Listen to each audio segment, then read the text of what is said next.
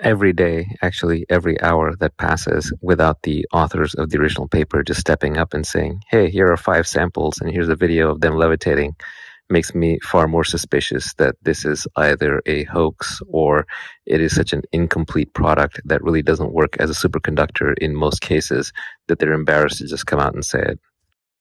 Correct me if I'm wrong, but don't we already have superconductive materials at the 90, 100 Kelvin range? I kind of stand by my original guess that they're not fraudsters, but they don't quite yet have a mass producible room temperature superconductor. So there are some severe flaws with what they do have, and they've been tinkering around trying to fix them, haven't been able to. And then the new guy basically jumped the gun on making the announcement because he wanted the rest of the world to see it, and he wanted to be uh, on the Nobel Prize recipient list.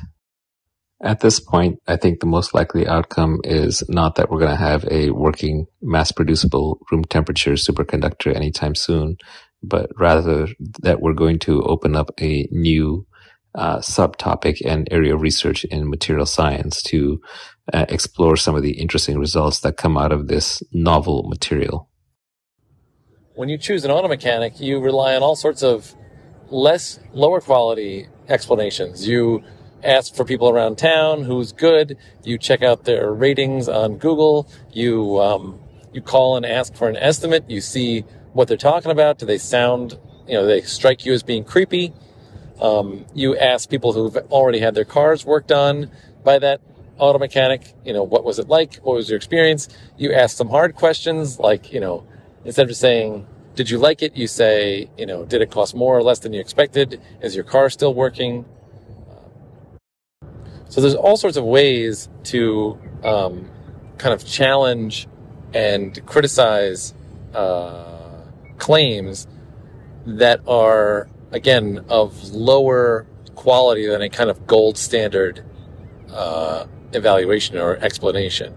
And I think that's a really useful skill in life, and it's also fun. So that's what I think this is. And um, again, personally, it all comes down to the samples in this case. And I think that's the best quality criticism that can be levied at this whole project, right? And all the stories of some Chinese lab getting a rock to levitate a little bit on a video, right? That, you know, anybody can post something like, looks like that on Twitter. That's very easy to do, very easy to vary.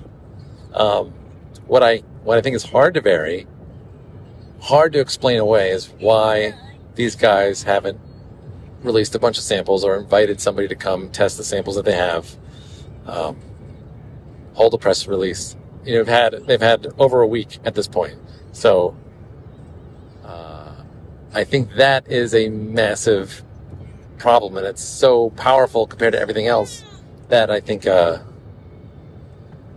I think it outweighs everything else at this point the trap that is laid here is the tendency to stack up evidence and the more you know the weight of evidence increases the probability that the claim is true. And that whole project is flawed. And you can see that happening here. This is kind of a perfect example of that right? Twitter is going to amplify the extraordinary. Twitter is going to amplify the extraordinary claims because the extraordinary claims obviously are much more interesting and so those are going to keep rolling in and the viewer is going to keep on thinking that, wow, this lab and that lab and this lab and that lab have confirmed and there's this theoretical work that confirmed, confirmed, confirmed, confirmed. And now I'm convinced this is the real deal. Uh, but, you know, it's, it's easy to find, uh, well, there's no such thing as a confirmation. And there's all sorts of reasons that we're unaware of that could amplify seeming confirmations. Kind of the same thing with these doomer macroeconomic doomer guys who uh, tell you how you know the dollar is going to fail and the global financial system is going to collapse and right and they always have all these long strings of evidence right and they can just hit you with evidence after evidence after evidence. You know the war in ukraine did this to grain prices and did that to fuel prices and did this to this and that to that and the fertilizer and around and around you go. And the next thing you know, China's going to collapse and there goes our, you know, manufacturing and then blah, blah, blah, blah, blah. And what's really going on is that the world, you know, the macroeconomic world is just extraordinarily complicated. There's millions and millions and millions of interacting factors going on. And it's very easy to pick out and select narratives and then, you know, add on more and more evidence to that narrative and make this compelling story that is, uh, in the end, worthless. So I think it's a similar thing is happening with, you know, material science. I mean, how many different elements are there that can be combined and how many different you know arrangements at different temperatures and pressures and um, you know doped with this and that i mean it's just astronomical and so it's easy to kind of um, talk yourself through a thread of evidence that sounds plausible i guess you'd say constructing a narrative is much easier than actually finding uh, a novel substance that matters and then I'd also say the same thing with uh, human metabolism. It's easy to say that, oh, you know, this enzyme and this biomarker and this macronutrient, and if I eat this diet and sleep like this, then that causes that, and this raises that, right? So, um, the narratives are really easy in these complex spaces, and just the narrative alone, the narrative can seem like it stacks up evidence and is confirmatory when it's not. Uh, there, I guess that's my piece but I'm rooting for you, Alex, and uh, everybody else. And I think it's really awesome that you're compiling all this stuff. And uh, it is all very fascinating, very interesting. I've learned a lot. It's been fun. And uh, I hope I didn't just uh, call it too soon. Uh, for the sake of argument, I want to take the other side of this. Um, it's easy to criticize, it's easy to be impatient. Uh, but basically, what do these guys owe to us? Nothing uh, it looks like that uh, this got out of hand uh, without intent to go out. So they didn't want to have a PR release. They didn't prepare to do this. So they they are not up for this thing. Probably the materials are not ready. The papers are not ready because they were rushed to due to the leak. So all the stuff uh, they've been doing it for decades now, and uh, we expect them to have everything lined up and ready and uh, adopted to the T. And why? Because we cannot wait. And what if it doesn't work out? Well, it's on then. It's anyways about the, the physics, the, the reality of the, the matter, whether it works or not. So if we've been waiting for decades, centuries already, what does it matter? And if it doesn't pan out, that's it. I don't think uh, these guys are they are not professionals in PR marketing BS they they are they are not going out. They haven't done that. So it's all social media. It's all the rest of us who are actually making all this fuss.